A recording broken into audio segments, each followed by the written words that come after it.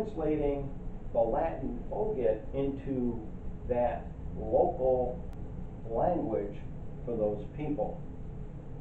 You know, this whole thing, well, if they didn't have the Textus Receptus, you know.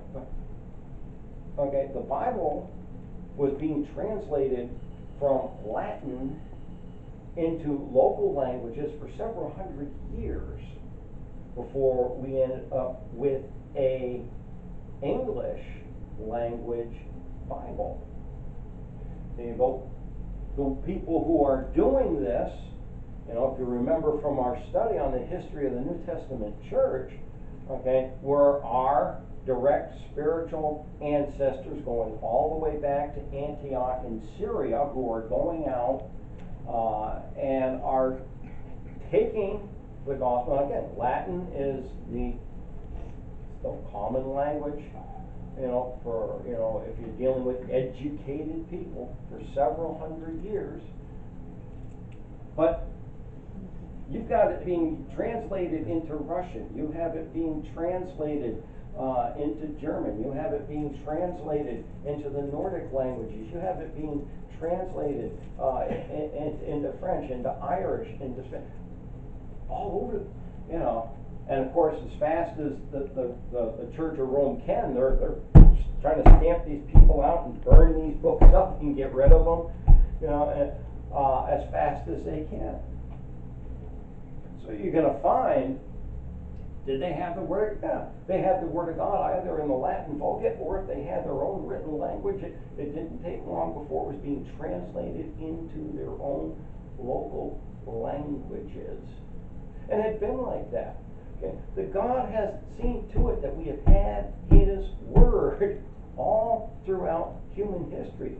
The English language Bible, the authorized version that we have today, is just the end of an incredibly long line of from spoken to written copies of God's Word. Know, well, how can we be sure that because God? That's what they keep discussing. That's the whole point. That's why I say that you know the whole battle is about final authority when it comes to the Word of God. You know, do we have God? Because see, if we don't have God's Word, if we can't, if you take God out of the equation, then yeah, how in the world did we manage to keep it? No, my Bible says, in the beginning, God created. Well, that's the thing, you know, but, you know, the question that comes with that is, well, you know, you know, this was that, you know, and all the different, I mean, argument upon, and I say, we'll come to some of that stuff. You know, but the simple fact of the matter is, yes, God has preserved His Word. And the process that He did it, you know, was via written language. And, you know, for us, as we follow that history of things, you know, the Latin Vulgate, you know, after the first century becomes, that becomes the primary number one tool right there. Like I say, Latin, oh, I mean, I mean, today, I mean, if, if you study science or medicine, you pretty much almost have to know Latin. You know, that's the, that was, so much of that was done, I mean, the French tried for a while to make French be the, the, the world language, but, you know, uh, didn't happen. French is, you know, you know, French is, French is a Latinized Gaelic. it's Latin. You know, that's what French is. It's a Latinized Gaelic. Okay. Uh, Latin remained the, the language of the educated world right up to the beginning of the 20th century.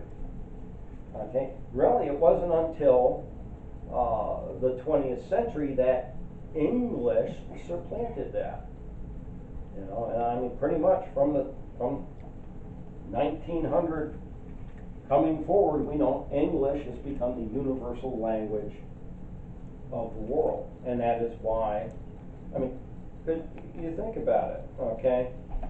little tiny island of England, okay? You know, what, what used to be the, you know, the motto of England, the sun never sets on the British Empire. They took the English language all around the world. Every place where England was in the world, people speak English. They write and read English. Okay, English is the most common second language learned all around the world. Guess what English they learn? They sure don't learn American English. Okay? Guess what they learn? They learn British English. That's why this guy with his New King James in, in India, where they speak English, okay, they, they'd have no problem with the authorized version of the Bible, because that's the English they learn. It's British English. I don't, American English is such a convoluted, ridiculous language. Anyways, what did they use? Well, started with oral tradition, passing on, this is what God has said, and we can see that, you know, quite a long time. Now, certainly by the time of Isaac, we've got the word of God as being written down. Uh, We certainly know that we've got it by the time of Moses, you know, being, and, I mean, they've got specialized Levites, the scribes, whose sole job was to copy and preserve the word of God and pass it along. I mean, you know, every synagogue got a copy of the word of God in it. You know, how'd they get it? Somebody wrote it down. Okay, and they had to make sure, I mean, all through the so-called dark ages. Okay, you had monks who were scribes, what was their job, what they did, day and night, they sit down and they made copies of the word of God. They had, you know, saw a funny cartoon the other day, the, scribe was asleep at his desk, and there, the copier broke down again. Know? Yeah, and then along came printing presses, Gutenberg's printing press. Uh, and look how, what printing, what, you figure God didn't know that this was all gonna happen? God doesn't have the ability to keep and preserve his words for us? That's the whole issue right there. Any questions? Any comments, anything that anybody needs repeated? Like I say, next week we'll come back to this same subject, we'll pick it up with the Latin Vulgate. Uh, we're gonna talk about what the Alexandrian cult, as they've come to be called, uh, has attempted to do to destroy God's word, and it continues right down into today. Alright, so we'll stop there for this morning.